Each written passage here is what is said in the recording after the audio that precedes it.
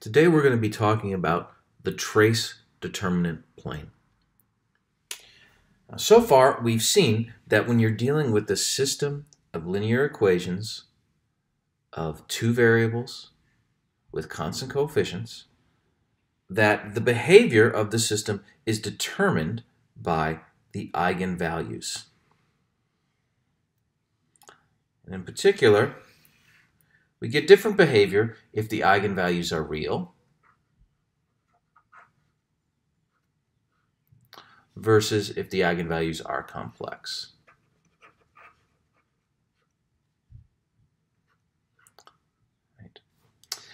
If the eigenvalues are real, then we have three general situations, the saddle, sink, and source. Uh, if the first eigenvalue is negative and the second one is positive, then the picture we get in the phase plane looks something like this. The first eigenvalue along solutions that start on this line will move towards the origin. Solutions start on the line for the second eigenvalue will move away from the origin. And then other solutions will be an interpolation between those two behaviors, right? And this is called a saddle. Another possibility is for both eigenvalues to be negative. So lambda 1 smaller than lambda 2, both smaller than 0. This is called a sink. And the picture here is solutions that start on the line for lambda 1 go towards the origin. Solutions that start on the line for lambda 2 go directly towards the origin along that line. And other solutions get pulled in. No matter where they start, they move towards the origin. And the third possibility is when both eigenvalues are positive. This is called a source. And the picture in the phase portrait for this is we have both solutions. If we start on either of the eigenvalue lines, we, we uh, or the eigenvectors, we move directly along that line towards infinity. Otherwise, we're an interpolation between those two possibilities. So that's what happens if our eigenvalues are real. If they're complex, let's call them alpha plus i beta. So alpha is the real part and beta is the complex part. Um, if alpha is negative, then this behavior in the phase plane will we will get a spiraling towards the origin over time. And this is called a spiral sink. If alpha is positive, the phase portraits will look similar, except the direction is outward. We move outward over time. This is a spiral source. And if alpha is actually zero, we only have a purely imaginary eigenvalue, then these ones don't go towards the origin or towards infinity over time. They're periodic. And in the phase plane, they move around periodically in little loops. Uh, sometimes this is called a center. Okay. So those are the possibilities. We, we haven't talked about what happens when one of the eigenvalues is zero or there's only one eigenvalue. We dealt with that before. This is just a, a broader picture of what's going on here. Um, but when you start with the matrix A, B, C, D, let's erase all of this, right? And start with the matrix A. Let's just call this matrix, will be completely general. The first cat coordinate is A, the second coordinate B, the first coordinate in the second row is C, and the second coordinate in the second row is D. Looking at that matrix A, B, C, D, it's hard to tell which of the scenarios that we just erased this matrix falls under. Okay? The problem is this is a four-dimensional object. There's four degrees of freedom, and it's very hard for us to just look at that matrix and figure out what's going on. Okay, now what determines the eigenvalues. We know that what determines the eigenvalues is the zeros of the determinant minus lambda times the identity matrix, right? We know that. That's how we found the eigenvalues. So this is equal to, as we've seen before, a minus lambda times d minus lambda uh, plus, or rather, minus BC. Now, if we work with this for a while and change it around, we will get lambda squared minus the quantity a plus d times lambda plus the quantity AD minus BC. And this is what's called the characteristic polynomial for the matrix. And this polynomial determines what the eigenvalues are. And in particular, we see that what matters is not the individual values of A, B, C, and D, but the sum of A and D and AD minus BC. Those values are what's going to determine what the eigenvalues are. So let's call A plus D by a new name T, and let's call AD minus BC by a new name D. This T stands for trace, and D stands for determinant. And if we rewrite this characteristic polynomial now as lambda squared minus t lambda plus d, now we see this characteristic polynomial only depends on what's called the trace, which is the sum of the diagonal terms a and d, and the determinant, which is ad minus bc that will completely determine the eigenvalues. Only T and D are necessary. In particular, when we were to write what the eigenvalues are, right, the eigenvalues are going to be, due to the quadratic formula, T plus or minus the square root of T squared minus 4D divided by 2. So those are going to be what the eigenvalues are. And remember, the eigenvalues are going to be real if this thing in here is positive, and they'll have imaginary components if that thing in there is negative. So what's actually important is we need to look at what happens when t squared minus 4d is either positive or negative, right? That's what determines. If t squared minus 4d is positive, then we have real eigenvalues. If t squared minus 4d is negative, then we have complex eigenvalues, right? What really matters is this t squared minus 4d.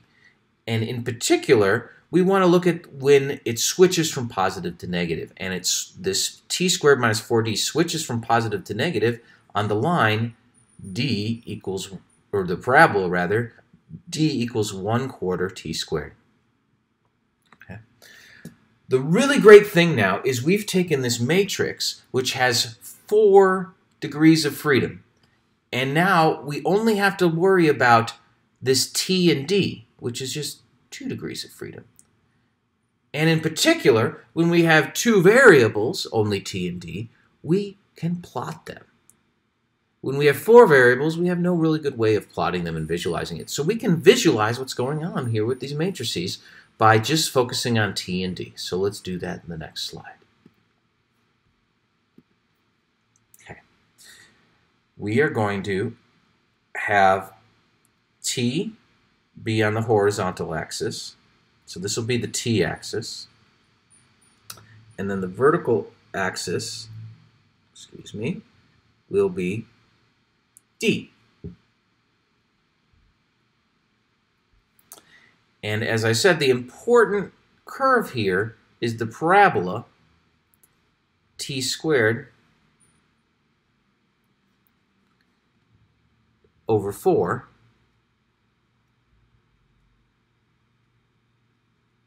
equals d. Okay, now above this parabola, we have that d is larger than t squared over 4. And when that happens, we get complex eigenvalues. And recall that alpha is going to be t over 2. So in this region above the parabola, this is where we have complex eigenvalues. Now, when t is exactly equal to 0, there will be no real part to the eigenvalue. So a phase portrait of a solution where t is equal to 0 would look like that. It's going to be a periodic solution. Automatically, we're going to have a periodic solution when the trace is equal to 0. Now, when d is larger than t squared over 4 and the trace is positive, now we still have complex eigenvalues, but here the real part of the complex eigenvalue will be positive, and so the phase portraits of solutions will have will look like a spiral source. When t is negative, the phase portrait of solutions will look like a spiral sink. Okay? So what these pictures are, these aren't these pictures aren't pictures of D and T, these little squiggles I've made. They're pictures of the phase portrait of the solutions. When T falls in this left portion above the parabola, the solutions will be spiral sinks. When T falls in this right half of the parabola, but, but, but when T and D fall in this right half above the parabola, we will have spiral sources. And when T is equal to zero and D is positive, we'll have exactly centers. Now, let's think about when D is negative. Okay? When D is negative, right? The important thing in the quadratic formula, right, is this t squared minus 4d. Right? And we have t plus or minus the square root of t squared minus 4d, and then all over 2. So when d is negative, it's going to add things to this t squared, and we're going to add something to t squared and then take its root so it's going to be something that's larger than t. So in particular, when we take the plus root, we'll have a positive number. When we take the minus root, t minus this quantity, it'll be negative because this quantity is going to be larger than t. So we're going to get one positive and one negative eigenvalue. So all underneath, when d is negative, right, in this entire region, we are going to have saddles. Because one eigenvalue is going to be positive and the other eigenvalue is going to be negative. So we're going to have saddles when d is negative. Let's think about over here in this portion.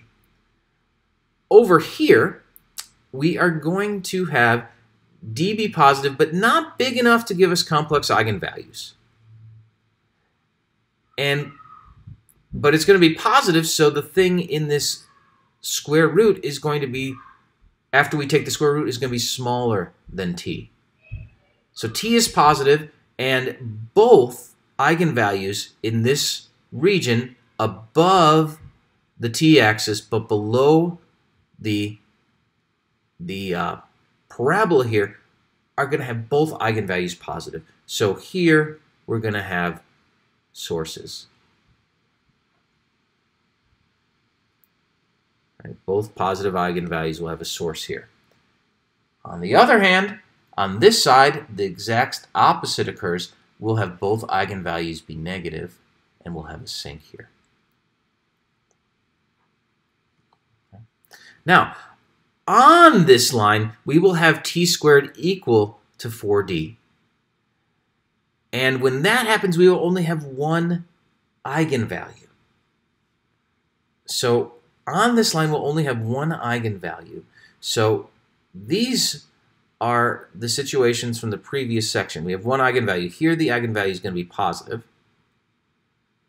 So here, solutions will look like this. Okay, positive single eigenvalue. Over here, the eigenvalue is going to be negative in a single value. So the phase portrait will look like this.